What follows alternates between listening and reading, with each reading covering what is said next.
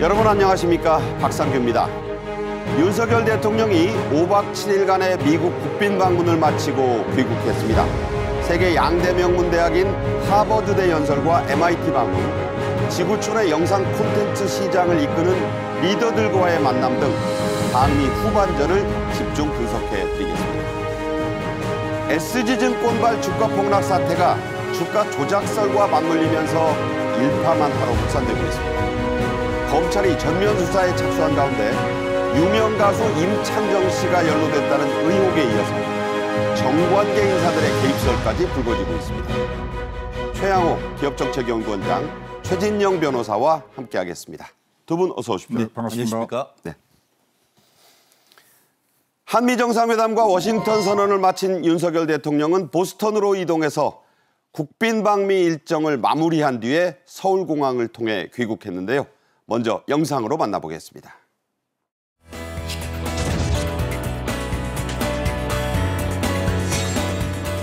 110년 전 대한민국의 초대 이승만 대통령께서 조국의 독립과 미래를 꿈꾸며 공부했던 이곳 하버드 대학교에서 대한민국의 20대 대통령으로서 연설하게 돼서 감회가 새롭습니다.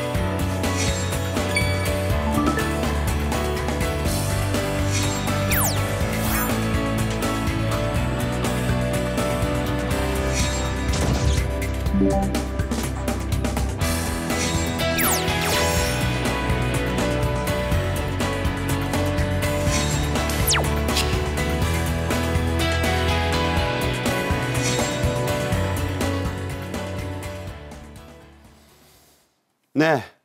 윤 대통령이 귀국할 때 국민의힘에서는 김기현 대표와 윤재옥 원내대표 그리고 정부에서는 외교부와 행안부의 차관 등이 공항 영접을 나갔죠? 어, 네, 그렇습니다. 어, 실질적으로 이제 행안부 같은 경우에는 아시다시피 행안부 장관님이 지금 탄핵 소추가 돼 있다 보니까 업무를 못 하잖아요. 그러니까 어, 행안부 같은 경우에는 그 차석이라고 할 수 있는 차관님이 어, 현장에 나가셨고 또 지금 그 외교부 같은 경우에는 박진 외교부 장관님이 미국까지 동행을 하다 보니까 네네. 또 공항 의전 차원에서는 그 차관님이 나갔던 그런 어떤 차관의 그 외교 의전에 따라서 지금 한 내용인 것 같은데요. 뭐 기내에서는 어 특별히 어떤 그 기자들과의 간담회는 따로 하진 않았습니다만 실질적으로 또 이제 가까우다 보니까 같이 사진도 찍고 또 덕담도 나누고 했다고 하는데요. 또 여당 같은 경우에는 지금 그 김기현 원내대표를 비롯해서 네. 또현 그 윤재옥 자, 그, 지금은 예, 김기현 원내대표 예, 손을 맞잡고 두 번이나 지금 하는 장면이 나오고 윤재옥 윤재옥, 원내대표도 손을 한번 맞잡아 줬고요. 김대기 대통령 비서실장 예, 반갑게 또 인사를 했고 그 다음에 이제 이진복 정무수석과도 상당히 반갑게 인사를 나눴습니다.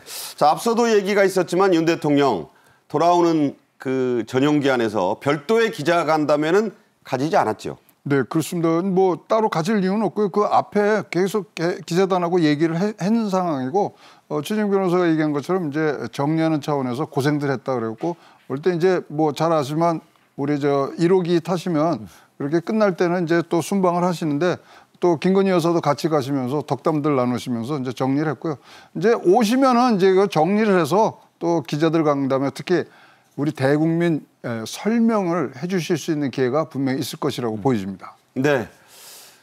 김건희 여사에게도 뭐 별도의 언급을 좀 대통령이 얘기를 했는데 언급은 안 하고 웃기만 했고 또 일부 기자들이 뭐 핸드폰으로 좀 셀카 찍자 하니까 응하기도 해요. 어, 했다죠. 그렇습니다. 어, 실질적으로 보면은 뭐 같이 이제 일주일 넘게 하다 보면은 개인적인 친분도 생기고 있지 않겠습니까? 그러다 보니까 어떤 공식적인 어떤 간담회 이것보다는 정말 사적인 그런 모임을 함으로써 어떤 기자들과의 어떤 그런 그 접촉점을 좀 접, 그, 어, 가졌던 그런 내용인 것 같습니다. 네.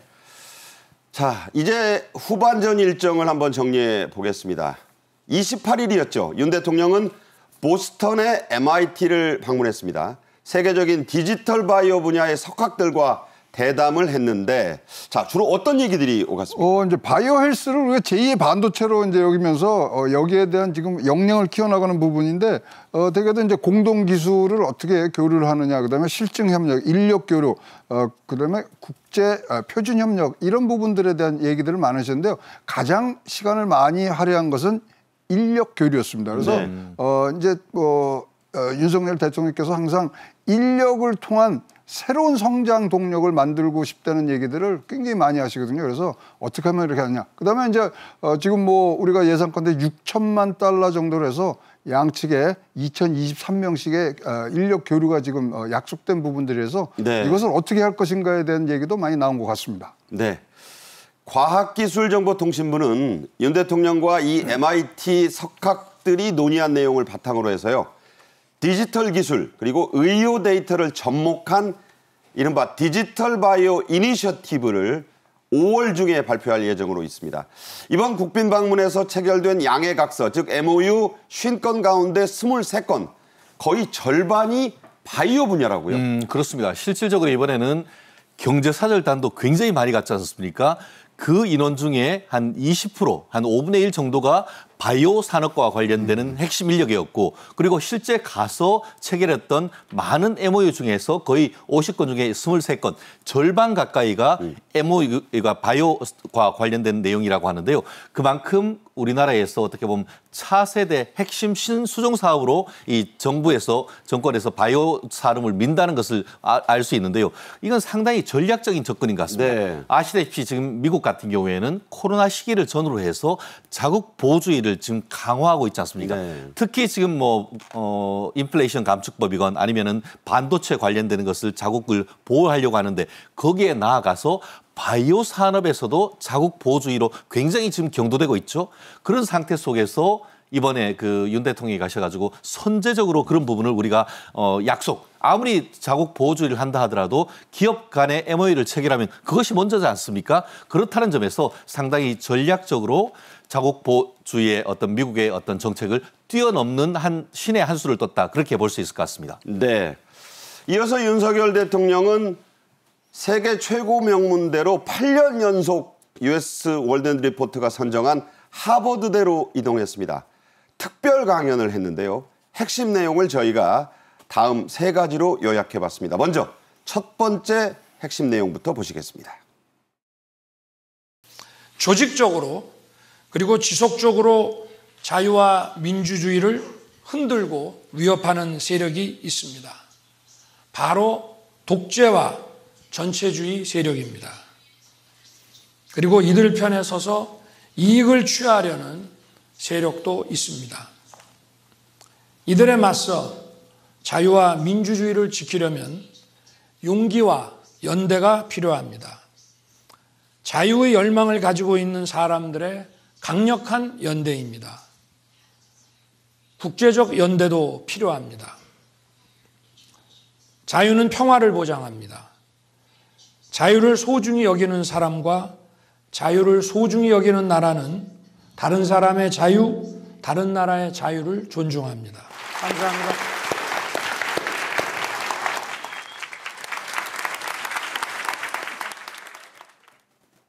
네.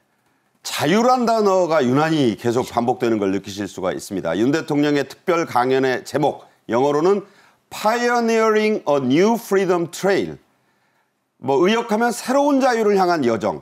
New Freedom Trail이란 말을 썼어요. 현재를 자유와 민주주의의 위기 상황이다 이렇게 진단을 했고 국제사회의 자유를 위한 연대를 특히 강조했습니다. 어떤 의도를 가지고 하신 말씀일까요? 자유를 위한 투쟁에 다시 한번 같이 나서자 동맹으로서 이제 지금 최근에 어, 뭐 국제적인 자유민주주의는 어, 사실 민주 세력이라든가 인권 운동가들을 어, 가장 가장해서 위협을 받고 있다. 그렇기 때문에 이것을 바로 해서 자유라는 가치 위에 다시 한번 세계가 일어서야 된다. 특히 그 주축에 어, 동맹인 한국과 미국이 앞장서서 나가자. 이런 뜻의 에, 자유민주주의와 어, 국제사회 연대를 지금 뭐 강조를 한 부분들인데 어, 뭐 속속들이 진짜 명문으로 남아 있는 것 같습니다. 자, 저 자막에도 나오지만 Freedom Trail이라고 했거든요. 그렇죠. 이게 road도 있고 way도 있는데 네. trail은 아주 좁고 길게 이어진 그 길을 trail이라고 영어로 하는데 굳이 이 표현을 쓴 이유는 뭘까요? 보스턴에 가면 보스턴 trail이라고 있어요. 그게 뭐부터 시작을 하면요. 보스턴 커먼이라고 공원이 하나 있고 이게 어디까지 가냐면 어, 찰스타운에 이, 뭐 거기까지 벙커 힐까지 가는데요. 4km 정도 돼요. 거기 가면은 어, 초대 대통령 얼굴도 있고 막 있습니다. 근데 이것이 미국이 영국으로부터의 독립을 이뤄내는 4km의 산책로인데 네. 그것에서 따온 것이 어, Freedom Trail 그러니까 이렇게 되는 거죠. 보스턴의 4km의 trail이 그렇습니다. 자유민주주의를 향해서 미국 독립의 여정을 보여주는 그 길이다. 그렇습니다. 그 네. 뜻에서 따왔다 이런 말씀 해 주셨네요. 윤 대통령은 이어서 워싱턴 선언을 특별히 강조했습니다. 대한민국은 마음만 먹으면 1년 안에 핵무장을 할 수 있다라고 했는데 직접 들어보시겠습니다. 북한의 불법적인 핵무기 개발과 핵 협박은 한반도만이 아니라 주변국, 나아가 세계의 평화와 자유를 심각하게 위협하고 있습니다. 또 대한민국은 에, 핵 무장을 하겠다고 마음을 먹으면 빠른 시일 내에 에, 심지어는 1년 이내에도 핵 무장을 할 수 있는 그런 기술 기반을 가지고 있습니다. 그러나 핵이라고 하는 것은 단순한 그 기술의 문제만이 아니고 아, 핵, 핵무기와 관련된 복잡한 정치 경제 학과 그 정치 경제 방정식이라는 것이 있는 것입니다. 아, 우리가 핵을 보유할 때 또 포기해야 하는 다양한 또 가치들과 이해관계들이 있습니다. 워싱턴 선언은 나토식 핵 공유보다 더 실효성이 있지만 핵은 복잡한 정치 경제의 방정식이라는 말을 했습니다. 자 여기에 많은 뜻이 담, 담겼다고 이 전문가들은 얘기했는데 최 변호사는 어떻게 보셨어요? 어, 저는 윤석열 대통령의 자신감 이렇게 지금 키워드를 잡아봤습니다. 뭐냐? 우리가 뭘 할 때에 할 수 없어서 뭘 요청하는 것과 난 할 수 있지만 굳이 그걸 해야 될 필요는 없다라는 것은 굉장히 다른 것 같습니다. 네. 우리가 현재의 어떤 기술력과 군사력에 비추어 봤을 때에 그핵 무장하는 것 빠르면 1년 만에 할 수가 있다. 하지만 그렇게 했을 때에 우리가 얻는 것보다 오히려 잃을 수 있는 부분이 상당히 많은데 그것은 굉장히 정치, 경제, 외교를 포함하는 굉장히 고차원의 방정식이다. 결국 잠재적으로 우리도 할 수는 있지만 지금으로서는 한미 간의 동맹, 국제사회 일원으로서의 어떤 그 책임감 이런 부분에 있어서 우리는 자제를 하고 네. 현재로서는 오히려 미국의 핵 우산을 강화하는 쪽으로 가서 동맹을 단순한 외, 군, 군사 동맹에서 경제 안보 동맹으로 확장하는 것이 현재로서는 우리의 전략이다. 이걸 네. 밝힘으로써 대한민국이 어떤 그 NPT 체제 하에서 평화를 지향하는 대한민국 국가라는 것을 밝혔다는 점에서 굉장히 큰 의미가 있다라고 생각을 하는데요. 말씀하시는 것처럼 많은 국민들이 지금 북한의 어떤 그 핵 개발 속에서 불안해하는 그런 부분들 잘 알고 계실 것 같습니다. 그러면서 하지만 우리가 자체 핵무장하자라는 대한민국의 목소리가 있는 것을 국- 외국한테 다 지금 얘기를 하고 있습니다. 예. 그렇지만 우리는 그렇게 하지 않겠다라고 밝혔다는 점에서 저는 굉장한 자신감을 보였다 이렇게 보- 평가를 하고 싶습니다. 네. 윤 대통령은 또 러시아의 우크라이나 침공을 직접 거론하면서 러시아를 날카롭게 비판했습니다. 직접 들어보시죠. 국제사회에서 다른 사람의 자유, 다른 나라의 자유를 존중하지 않는 태도는 종종 힘에 의한 현상 변경 시도로 나타납니다. 국제사회에서는 이를 국제법 위반으로 규정합니다. 우크라이나에 대한 침공이 1년이 넘었습니다. 국제법을 침, 위반한 침공으로 우크라이나 국민들의 자유와 인권이 무참히 짓밟혔습니다. 대한민국은 작년에 이어 올해도 우크라이나 국민들의 자유 수호를 위한 인도적 재정적 지원을 계속 확대하고 있습니다. 다른 나라의 자유를 무시하는 힘에 의한 현상 변경 시도는 국제사회가 용기 있고 결연한 연대로서 대응해야 합니다. 다른 나라의 자유를 무시하는 힘에 의한 변경 시도는 단호히 결연한 연대로서 대응을 해야 된다. 이게 이제 러시아의 우크라이나 침공뿐 아니라 중국의 대만 위협도 동시에 견제한 발언이다. 이래서 좀 이 전문가들이 네. 이, 이 분야에서 상당히 어떤 대통령의 의지가 읽혔다 이렇게 보고 있어요. 그렇죠. 이제 뭐 평화 정착의 가장 어, 축이 돼야 되는 인도 태평양 지역에서의 평화 번영의 핵심 축으로 한미 동맹이 지금 이제 올라가서는 아, 그런 순간인데 일단 민주주의라든가 경제적 번영 이런 것들이 사실 다른 힘에 의해서 다른 나라의 자유를 뺏으면 안 된다. 아, 특히 어, 우크라이나 사태 같은 데는 국제법 위반이라는 아주 정의까지 내리면서 일단 자유와 인권이 침해되면서의 어, 어, 민주주의, 자유주의가 훼손되는 부분들에 대한 강한 아, 그런 어, 지탄을 하셨고요. 어, 이것은 앞으로 우리 한미 동맹의 어떤 어, 또 과제일 수도 있다는 어, 그런 얘기를 나누면서 사실 우리가 안보 동맹으로 6.25 때부터 나왔지만 이제는 세계 선진 국가의 중추 동맹으로서 나아가는 그런 시도들을 엿볼 수 있다고 보여집니다. 네. 윤 대통령이 워싱턴 미 상하양원 합동회의 연설을 할 때 2층에서 김건희 여사 옆에 고 윌리엄 웨버 대령의 손녀딸이 앉아 있다가 박수를 받고 이제 호명을 해서 박수를 받았는데 윤 대통령은 하버드대 특별 연설을 할 때도 6.25 참전 용사인 고 윌리엄 쇼 대위의 유족을 초청했습니다. 영상 직접 보시죠. 1950년 한국이 공산주의 침략을 받았을 때 미국을 비롯한 자유진영 국가들이 참전하여 함께 싸웠습니다. 오늘 이 자리에는 노스캐롤라이나에서 오신 쇼 대위의 손자 윌리엄 캐머린 쇼와 그의 어머니 캐머럴 캐런 캐머런 쇼 이 두 분이 함께하고 계십니다. 어디 계시는지 아, 네. 네.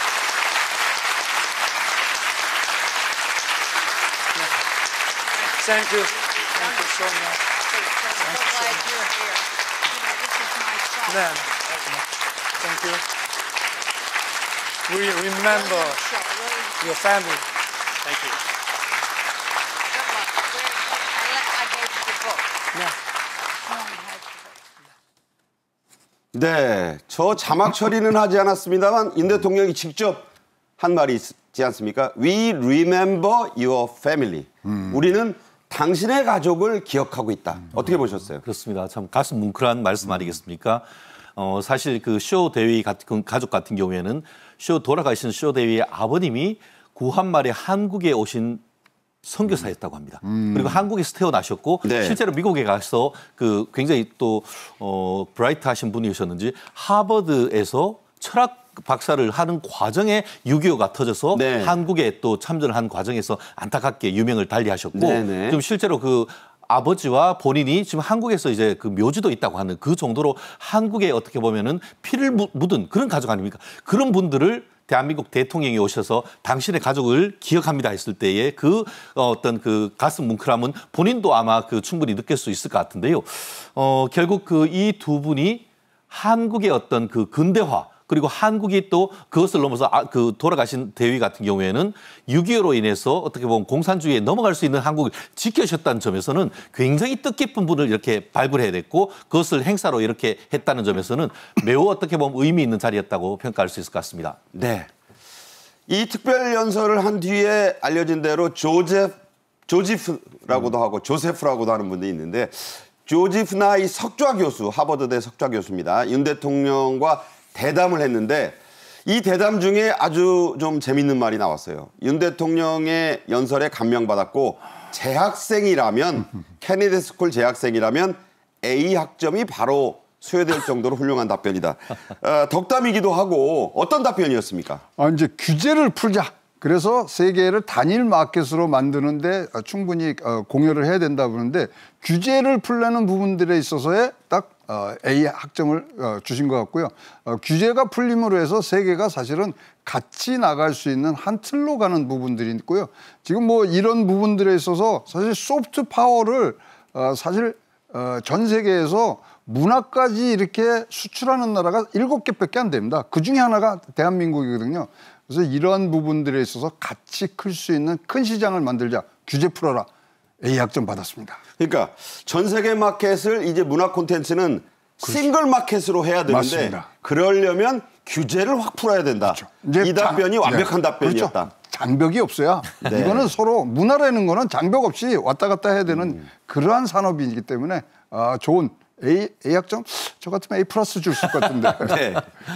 한편 윤 대통령의 명문대 방문을 둘러싼 얘기도 나왔습니다. 이번이 처음이 아닙니다. 사실 해외 순방을 나갈 때마다 그 나라의 명문대를 꼭꼭 방문했었는데 특별한 이유가 있다고요? 윤 대통령의 교육 철학 이게 직접적으로 녹아 있다라는 그런 평인 것 같은데요. 네. 좀 전에 말씀하신 것처럼 이번에 미국 가셨을 때는 뉴욕대, 캐나다 갔을 때는 토론토대, 유럽 갔을 때는 쯔리 공대를 가셨고 실제로 해, 그 지난번에 일본에 갔을 때는 네, 어, 또 갔었는데 결국 교육을 통한 그 산업 육성 이런 부분에 대한 정책이 있는데 실제로 이번에도 미국과 한, 한국의 인력을 올해가 2023년이다 보니까 한국에도 2023명 또 미국에도 2023명 왔다 갔다 하는 그 교류에 관한 협정도 맺었다고 합니다. 네.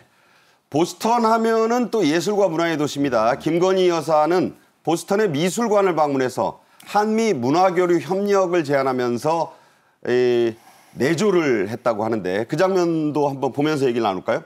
네. 네.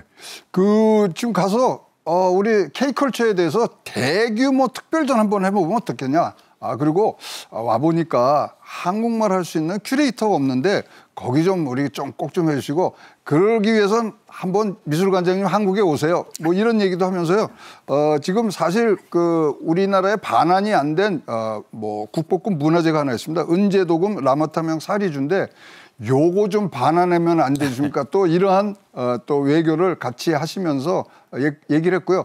어차피 지금 문화의 이 교류가 이루어지는 가운데 사실 경제 그다음에 기술 이런 것들이 차곡차곡 쌓여가는 부분들이 지금 어, 눈에 보이기 때문에 어, 옆에서 어, 보조적으로 외교를 많이 하신 것 같습니다. 네. 윤 대통령은 우리나라 대통령으로는 처음으로 미국 영화협회 회장단과 여섯 개 글로벌 영상 콘텐츠 기업들이 참여하는 글로벌 영상 콘텐츠 리더십 포럼 영어가 좀 깁니다만은 세계적으로 영상 콘텐츠를 이끄는 그런 사람들의 모임에도 참석을 했죠. 어, 그렇습니다. 말씀하신 것처럼 이게 이름이 깁니다. 세계 영상 콘텐츠 리더십 포럼에 참석을 해가지고 실질적으로 지금 한국의 어떤 K 한류 이 부분에 대해서 어떻게 보면 미국에 더 강력한 드라이브를 거는 그런 역할을 하신 것 같은데요. 실질적으로 지금 한국 영화, 그 미국 영화협회 회장단 그리고 여, 여섯 개 글로벌 콘텐츠 기업들이 참석을 했는데 격세지감이다. 옛날에는 한국이 가가지고 제발 좀 만나달라 했는데 이제는 그분들이 글로벌한 영상 컨텐츠 기업들이 이제 거꾸로 한국을 만나려고 하는 그런 모습을 보면서 야 요즘 최근에 어떤 대한민국 K컬처의 어떤 강력함을 지금 그 우리가 입증하는 그런 장면이었을 것 같습니다. 자, 방금 자료 화면으로 보셨지만은 어디 예능 프로그램이나 영화에 많이 나오던 얼굴이 등장했죠. 이 자리에 낯익을 얼굴이 등장했습니다. 바로 배우 이소진 씨였죠. 네, 어, 사실 어, 공부를 미국에서 했죠. 뉴욕대에서 경영학과를 어, 뭐 졸업을 했고요. 그다음에 뭐 최근에 어, 해외에 가서 우리 한국 음식을 파는 그런 아, 프로그램들을 지금 어, 자주 어, 연출을 했던 부분들인데요. 이미경 CJ 부회장이 그렇죠. 또 친분이 남다르잖아요. 마- 남다르고 또 그걸 해서 사실 그게 뭐 단순히 우리가 한 프로그램으로만 볼 수 있지만 우리나라 문화가 나가는데 굉장히 선두 이 뭐 교두보를 만드는 지금 뭐 역할들을 하고 있거든요. 그러한 등등 어, 세계에서 어떻게 K 어, 컬처, K 푸드를 받고 있느냐를 일선에서 보신 분 이서진 배우라고 보여집니다. 네. 이럴 때 나오는 농담이 있습니다. 네가 왜 거기서 나와? 뭐 이런 얘기인데 윤 대통령도 질문이 바로 그거였어요. 어떻게 오셨냐? 이렇게 이서진 배우에게 물었는데 대답이 이랬습니다. 이서진 씨, 윤 대통령이 검찰에 계실 때 제가 검찰 홍보대사를 했었습니다. 이렇게 대답했는데 언제 때 얘기하는 건가요? 어, 진짜 예전에 윤석열 대통령께서 검찰총장 하실 때 그 무렵인 것으로 알고 있는데요. 본인이 이제 이제 검찰로서 검찰 홍보 대사를 했다라고 해서 개인적인 친분을 얘기했는데 실질적으로 좀 전에 그 최 박사님이 얘기하신 것처럼 이분 같은 경우 문화체육관광부에 초대를 받아갔습니다. 네. 말씀드렸듯이 한국과 미국의 문화 교류에 최천병으로 있었기 때문에 상징적인 인물로서 지금 문화체육관광부에서 초대하신 인물이었던 것 같습니다. 네. 자, 이 방미를 마무리한 뒤에 두 정상은 SNS로도 이렇게 교류했습니다. 조 바이든 미국 대통령은 윤 대통령이 국빈 방문을 마무리한 29일에 그 한미동맹을 강조하는 그런 트윗을 직접 올렸다고요? 네, 그러니까 이게 뭐 국경을 우리가 마주해서 이런 동맹이 된 게 아니라 가치, 믿음을 우리가 가- 어, 공유를 함으로 해서 간 것이다. 더 우리가 뜻깊고 더 어, 혈맹으로서 날 수 있는 부분들이 있다. 아, 뭐 지금 비, 저, 어, 조 바이든 대통령뿐 아니라 질 바이든 여사도 다 시작이 my friend예요. 어, 저는 진짜로 이제 혈맹으로 가는 부분들이 지금 어, 생기고 있고 믿음과 가치에 대한 어, 동질한 생각을 갖고 있는 동맹으로 거듭나고 있습니다. 네, 여기에 대해서 윤 대통령도 조 바이든 대통령의 트윗을 리트윗하면서 화답을 했다. 이런 말씀도 전해드리겠습니다. 한편 미 국방부 펜타곤이죠. 윤 대통령이 그 핵심부까지 직접 최초로 갔었는데 미 국방부는 최근 한미 두 나라의 핵불능화 부대가 한반도에서 연합훈련한 사실을 이례적으로 공개를 했습니다. 워싱턴 선언을 발표한 가운데 이게 이루어져서 더 뜻이 어, 깊었죠? 그렇습니다. 워싱턴 선언으로 이 단순히 구두선으로 마치는 것이 아니고 정말 실질적인 그, 비, 그핵 억지로 그로- 이- 이루어질 수 있고 그걸 담보하기 위해서 실질적인 훈련이 이루어지고 있다는 것을 만방에 알렸다는 점에서 굉장히 의미 있는 행사였던 것 같습니다. 네. 한미 정상회담은 저희가 내일 이후에도 어, 주제별로 묶어서 한번 집중 분석해드리는 시간을 갖겠습니다. 다음 주제로 넘어가죠. 최근 좀 주식시장이 들썩들썩하고 있습니다.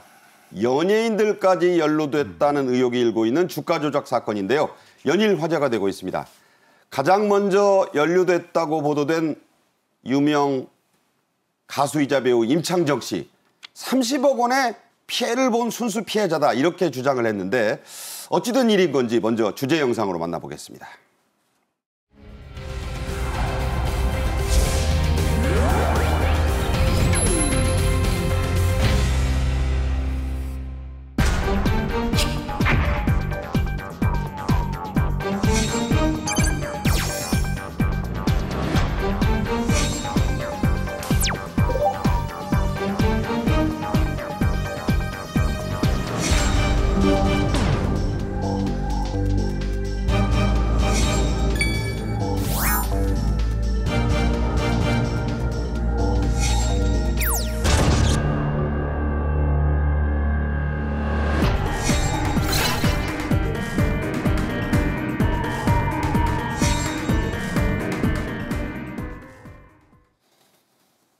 애꿎은 개미들만 속을 태운다는 말이 지금 오늘 아침까지도 계속 잇따르고 있는데 이 SG증권 사태를 금융당국 그리고 검찰이 전면 수사하기 시작했습니다.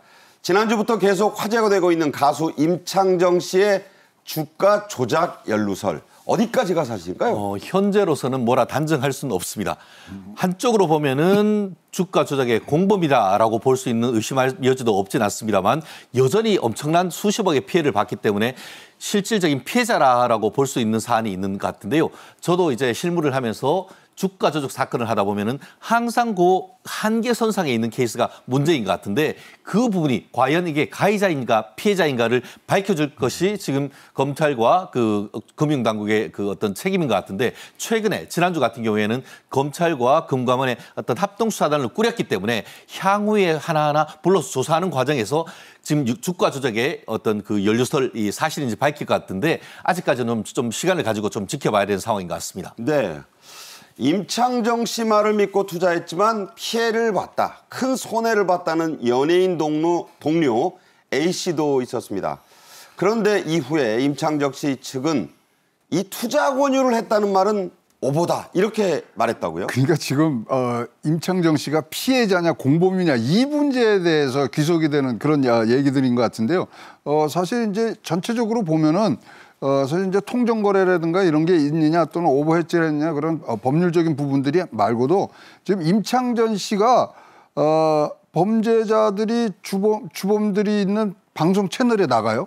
어, 그리고 해외 골프장에서 또 직접 투자를 해요. 네. 그다음에 또 이 주범들이 다시 어, 임창정 씨 이 기획사에 또 투자를 하면서 사실 상호 신뢰 관계가 지금 있는 듯한 지금 부, 부분이 보였기 때문에 지금 뭐 투자 권유를 했니 안 했니보다 그 관계가 먼저 되면은 그 이후에 지금 임창전 씨가 나서서 권유를 했냐 안 했냐 이 부분으로 따져가는 그런 전초전에 지금 어, 들어 있는데 뭐 지금 양쪽 얘기는 조금씩 틀리기 때문에 에, 어떤 법의 에, 잣대로 한번 들여다봐야 되는 그런 어, 부분이라고 생각을 합니다. 네.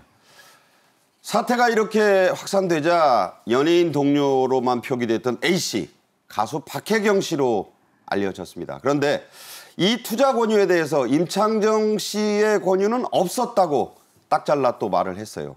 박혜경 씨가 직접 밝힌 입장 어떤 겁니까? 어, 그렇습니다. 지금 말씀하신 것처럼 어, 한 언론사에서 임창정 씨로부터 투자 권유를 받고 큰 피해를 입은 사람이 있었다라는 얘기가 나왔는데 그 사람이 바로 박혜경 그 가수인 것 같은데요. 다만 그 박혜경 씨한테 언론이 물었더니만 본인이 투자한 거는 맞다. 그런데 투자를 권유한 것은 임창정 씨가 아니고 다른 사람이다. 그렇기 때문에 이 사, 본인과 관련해서 임창정 씨가 어떤 그 투자를 권유했다는 것은 사, 실이 아니다. 이렇게 밝힌 것 같은데요. 어, 다만 그럼에도 불구하고 본인이 한 지금으로서는 한 4천만 원 정도 투자를 했고 그것이 한 8천만 아, 4천만 원 피해를 봤다. 피해를 봤다. 그런데 그걸 이제 금액이 많이 늘었다가 갑자기 지금 또 피해를 봤다라고 지금 얘기를 하고 있는데 어, 경우에 따라서는 왜 그런 어떤 그 보도가 났는지 진짜 그것이 오보인지 아니면은 어떤 그 본인이 밝히지 아, 밝히고 싶지 않은 어떤 사정이 있는지 이 부분 또한 검찰의 수사를 통해서 밝혀질 부분이 아닌가 생각을 합니다. 네. 결국 이 두 사람은 다 나는 피해를 본 사람이다 이런 입장인 건데 그 입장을 저희가 한번 그래픽으로 정리를 해봤죠. 네, 설명 주십시오. 자, 우리는 이제 피해자라 그러는데 사실 이제 어 결과적으로는 지금 뭐 아, 투자한 돈이 지금 뭐 1억으로 지금 30억에서 1억으로 됐고 박혜영 씨도 지금 뭐 어, 맡겼는데 이제 거의 뭐 없는 부분. 임창정 씨는 30억이라고 지금 주장을 해요. 자기가 네. 투자한 거는. 왜냐면 이제 50억 원어치 자기 회사 지분을 팔고 어 그다음에 20억은 딴 그 걸그룹 쓰는데 쓰고 30억을 자기 부인과 나눠서 15억씩 했는데 자 근데 이, 이 부분들이 피해자라 그러기에는 지금 뭐 문제가 있는 게 이 사건의 어떤 이 수법으로 보면은 대포포 대포폰을 이제 보냅니다. 그럼 네. 그거를 자기의 이름으로 개통을 해서 다시 보내고 거기서 이제 어, 조작들이 일어났는데 이때 불법의 여지를 인지했느냐 안 했느냐가 굉장히 중요하거든요. 네. 사실 지금은 어떻게 표현드리면 제일 쉽냐면은 우리가 맛집에 줄이 막 서 있잖아요. 음. 그 그러면 어 이거 맛집이라고 생각하는데 줄이 막 서 있게 지금 맛집 그런 간판을 씌우는 작업들을 한 것들이 주가 조작범들의 수법이거든요. 아하, 예. 거기에 과연 이 두 사람들이 어떤 식으로든지 지금 어, 공유한 부분이 있냐 여기가 쟁점이기 때문에 이 부분들은 뭐 지금 뭐 법률적으로 미필적 고의냐 뭐 등등이 나오는데 과연 이것이 불법인 거를 인지했느냐 안 했느냐 대법폰을 개통하는 과정에서 인지했느냐 안 했느냐가 가장 큰 지금 어, 분수령으로 보고 있습니다. 네. 이 골프 이 과정에 유명 골퍼 출신 에이모 씨의 이름이 또 나옵니다. 이 사람을 통해서 했다. 뭐 이런 주장인데 이 주가 조작 범행의 손길이 방송인 노홍철 씨한테도 닿았다. 이런 보도가 나왔었어요. 하지만 노 씨는 거절을 했는데 이야기를 들어보니까 범인들이 접근하는 주요 장소가 어떤 골프장이라고 지금 추정이 되고 있, 는 그런 단계죠. 음, 그렇습니다. 실질적으로 지금 언론 보도를 보면은 강남에 골프 아카데미를 설치를 하고 거기에 골프 레슨 해준다라고 하면서 유명인들한테 이제 모으고 또 그리고 골프 레슨 하면 어떻게 되겠습니까? 또 실질적으로 필드를 나가서 얘기를 하는 과정에서 자연스럽게 이 투자 얘기를 했다고 합니다. 네. 근데 노영, 노홍철 씨 같은 경우에는 본인도 그런 것을 수차례 권유를 받았지만 아무리 봐도 이건 좀 이상하다라고 해서 본인은 거절을 한 해서 지금 피해를 보지 않았다라고 하면서 이 사건과의 어떤 그 관련성을 깨끗하게 지금 부인하고 있는데요.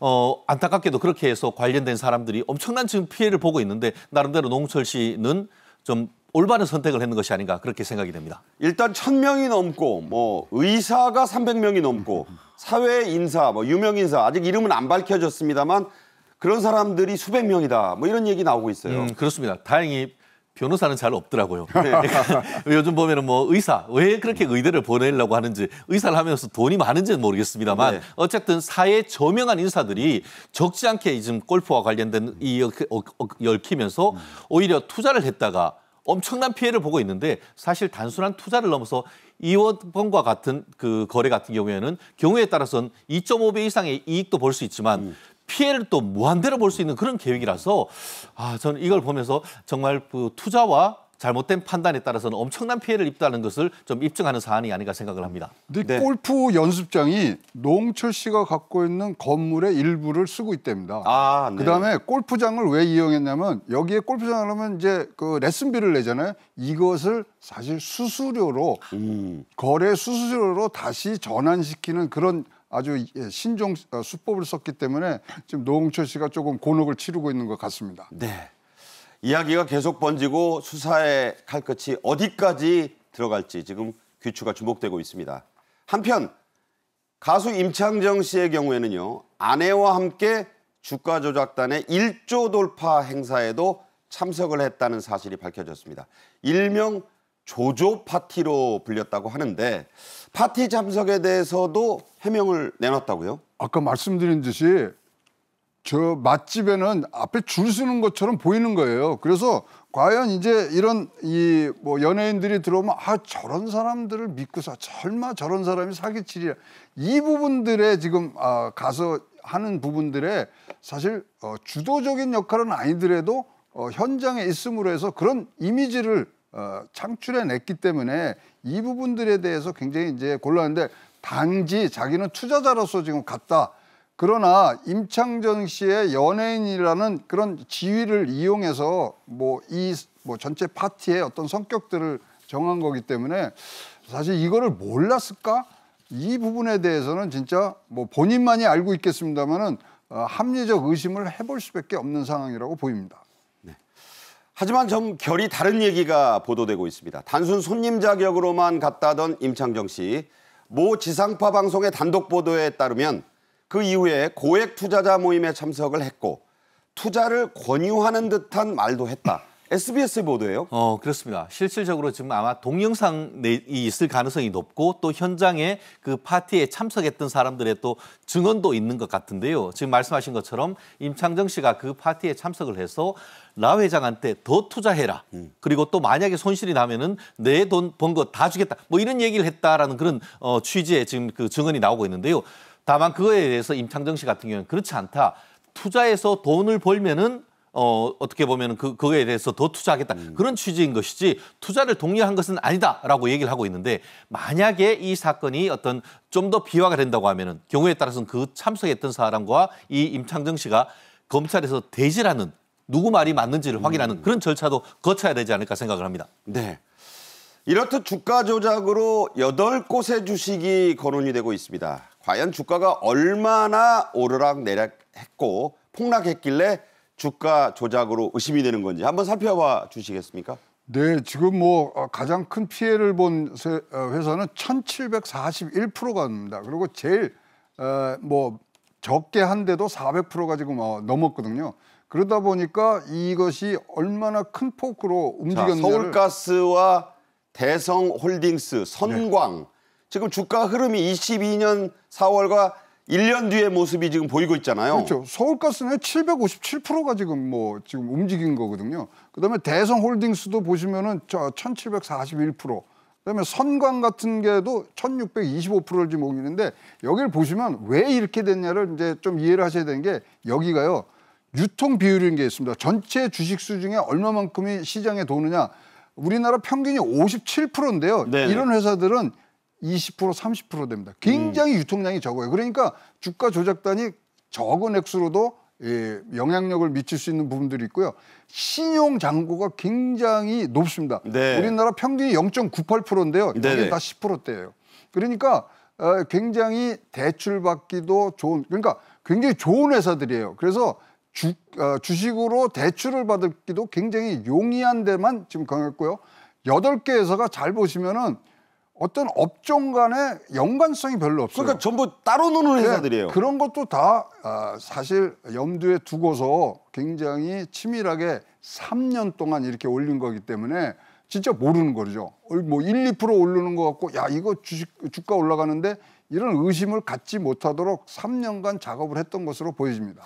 치밀하게 이 계획된 서로 다른 종목을 3년간이나 이렇게 에, 주가를 띄웠다 이런 말씀을 해주신 겁니다. 그런데 이 주가가 폭락한 주식들 가운데 서울도시가스와 다우키움그룹 회장 그룹의 회장이 주가가 폭락하기 직전에 많은 양의 주식을 팔아서 의혹이 지금 제기되고 있습니다.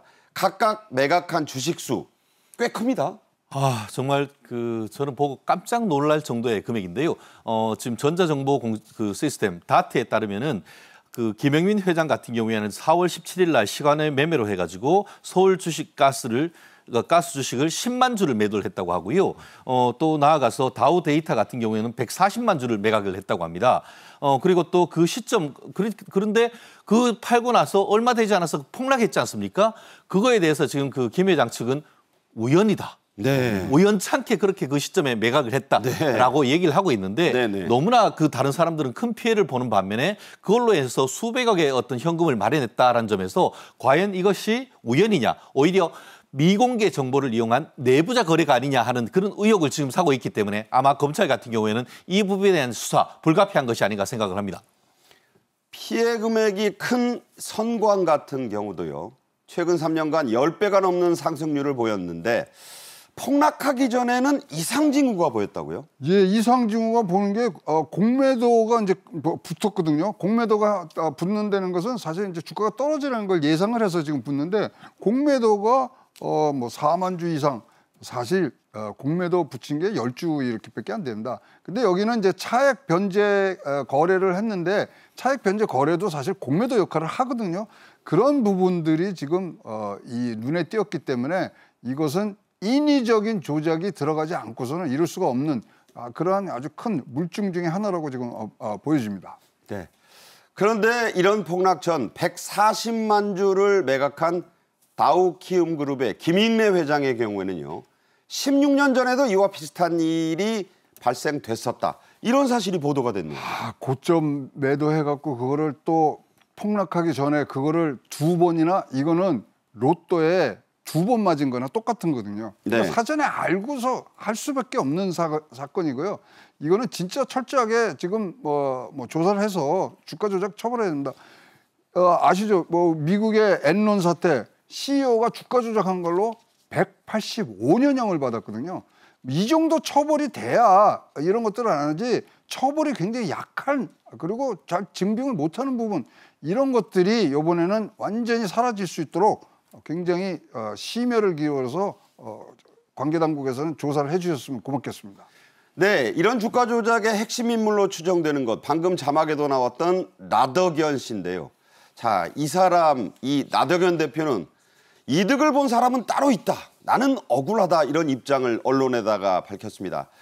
이 라 씨는 키움증권 회장이 실제 배우다 이런 주장을 또 내놨네요. 음, 실질적으로 지금 어, 결국은 어떤 사태는 터진 것이고 그러다 보니까 책임 공방을 지금 벌인 건 아니겠습니까? 그러면서 외부적으로는 라드겐이라는 사람이 지금 어, 나타나 있습니다만 실질적인 전주와 뒤에서 있는 큰 손은 따로 있다라고 해서 실질적인 운영 주체와 전주 사이의 어떤 그 책임 공방이 지금 벌어지고 있는데 사실 이렇게 될 경우에는 사건의 실체를 밝히기가 오히려 좀 더 쉬워집니다. 왜냐하면은 서로가 아니다라고 해버리면은 그것을 물증이나 압수수색을 통해서 굉장히 어렵게 지금 사실을 밝혀야 되지만 네. 지금 내용을 보면은 서로 책임을 떠넘기는 과정에서 각각 수사를 할 경우에는 오히려 용이하게 이 사건의 어떤 실체를 밝힐 수 있는데 사실 법조인들은 이런 얘기를 합니다. 사람은 거짓말을 하지만 돈은 거짓말을 하지 않는다. 결국 그 검찰에서 압수수색을 통해서 자금의 흐름을 쫓은 다음에 그것에 실질적인 어떤 이익을 본 사람이 누군지를 보면은 실체적으로 이 사건의 핵심 주범을 찾을 수 있지 않을까 생각합니다. 네. 그렇지만 이렇게 배우로 지목받은 키움증권 측에서는 라덕연 대표를 아예 모른다 이런 입장을 또 내놔서 어, 사람들이 지금 뭐가 진실인지 헷갈리고 있어요. 그러니까 이번 주가 뭐 조작 사태라고 뭐 우리가 명칭한다면 진짜 불법 주식 리딩방 형태하고 똑같습니다. 네. 그래서 어 사실 이제 이렇게 어 리딩방 형태 형이 어, 형태가 조금 진화된 거거든요. 근데 이번에 고액 투자자로 들어가고 차익 결제 사용하고 이런 것이 좀 다르지만 어, 이 부분들은 서로 주범이 되는 사람들은 정보들을 서로 공유를 하거든요. 과연 그러면 처음에 어, 리딩방에서 유사 전문 어, 업체로서의 운영을 하는데 이 두 사람이 관여가 됐냐 안 됐냐에 굉장히 수사에 초점을 맞춰야 될 부분이라고 보여집니다. 이렇게 피해 금액이 커지고 관련자들이 늘어나자 정부 당국도 신속하게 나섰습니다.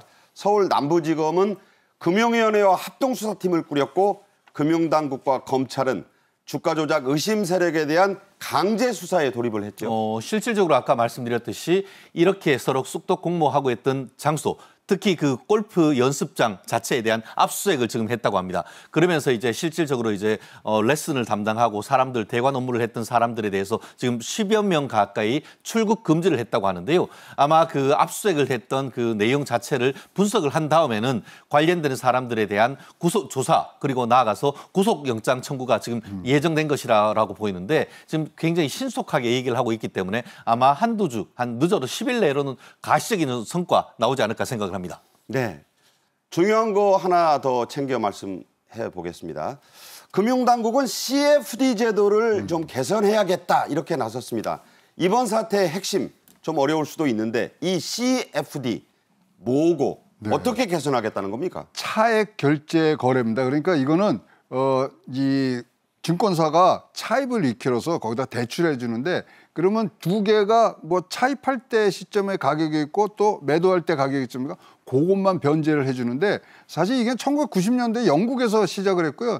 어 2008년 금융 위기 이후에 외환 거래에 많이 쓰던 겁니다. 네. 그래서 굉장히 소액으로도 어, 이 부분들이 영향력이 큰데요. 우리나라에서는 어떤 용도로 많이 쓰냐면 어, 이거 금융회사가 투자를 대신해서 이제 이 어, 주식을 사기 때문에 양도세가 없습니다.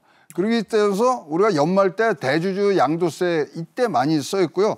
레버러지가 높아갖고 굉장히 주가 변동에 어, 영향을 많이 붓는 어, 부분들이 있었습니다. 그러나 한국에서는 전문 투자가에게만 허용을 했는데 뭐 자산이 5억이고 1억이고 이런 있는데 여길 좀 강화해야 됩니다. 그리고 전문 투자자라는 것은 우리 법상의 정의가 뭐냐면 피해를 봐도 그것을 감당할 수 있는 사람이거든요. 그런 부분들이 조금 더 촘촘하게 짜여지는 그런 개선책이 나왔으면 좋겠습니다. 네. 자, 이 사태가 이른바 개인 투자자들에게 어떤 피해가 미쳐질지 또 어디까지 확산될지는 계속 속보가 나오는 대로 저희가 정리해 드리겠습니다. 최양호 기업정책연구원장, 최진영 변호사와 함께 말씀 나눴습니다. 두 분 오늘 잘 들었습니다. 감사합니다. 네. 오늘 저희 생방송 정책인 이슈가 준비한 소식은 여기까지입니다. 시청해 주신 여러분 감사합니다.